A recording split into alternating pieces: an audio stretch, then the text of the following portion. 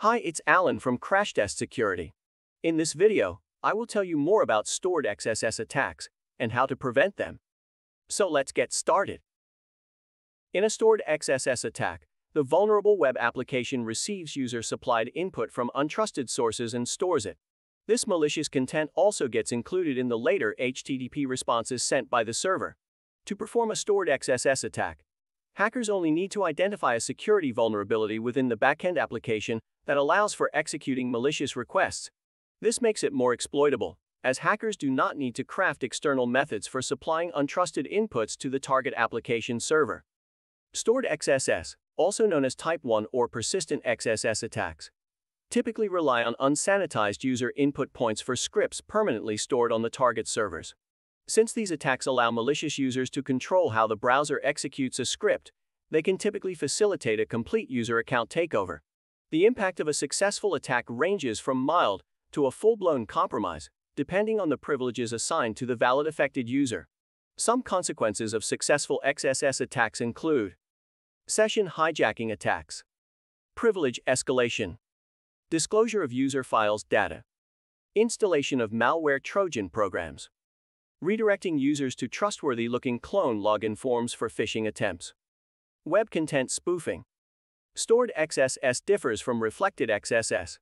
In reflected XSS, the server executes the malicious content and includes it only in the immediate HTTP response, whereas, in stored XSS, the arbitrary code gets stored. Unlike other XSS attacks where the user has to be logged in at the time of bad code injection, the stored XSS payload is persisted within the web server and is executed by the browser for every user that signs in, making it the more dangerous type of attack. Hackers have targeted stored XSS vulnerabilities for a long time since the malicious code stored on the target application has an enormous reach. A persistent attack aims to inject bad code into popular user-supplied input points, such as comments on blog posts, username fields, and message boards.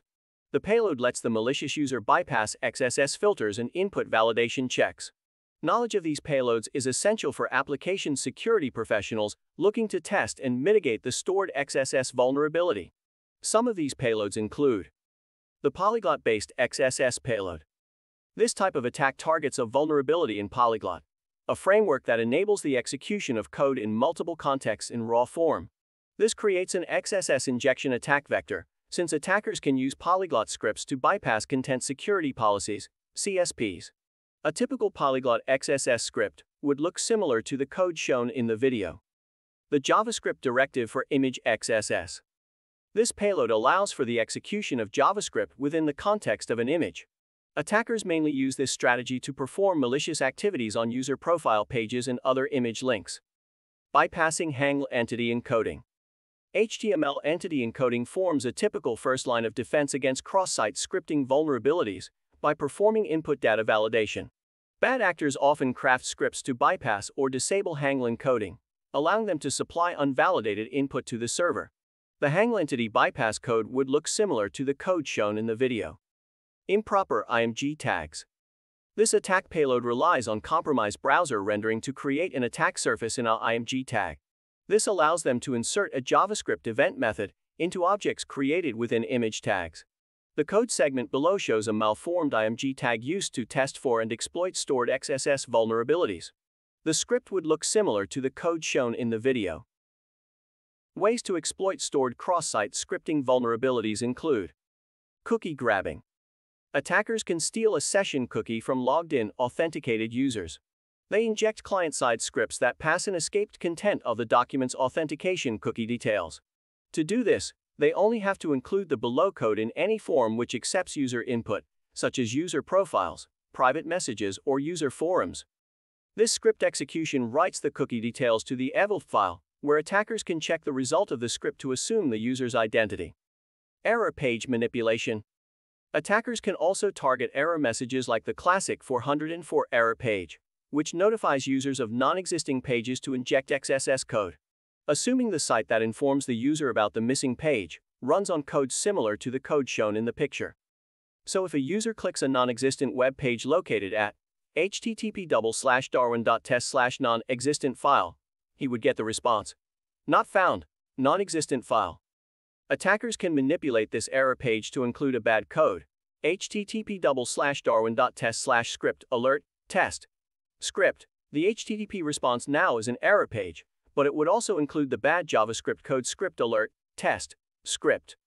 Now that the script tags are successfully injected, users can be misled into clicking the malicious link in a phishing email or social engineering tricks. Below are the ways to prevent hackers from exploiting the stored XSS vulnerability in a web application. Perform proper input validation. Input validation is the default primary step to prevent any injection attacks. Proper input validation controls must be performed at every application tier to ensure it only accepts trusted user input. Encoding input before sending it to the browser ensures that attackers cannot tamper with user-supplied data. Web developers should also enforce integrity checks throughout the software lifecycle to ensure the target application does not include harmful content in its response.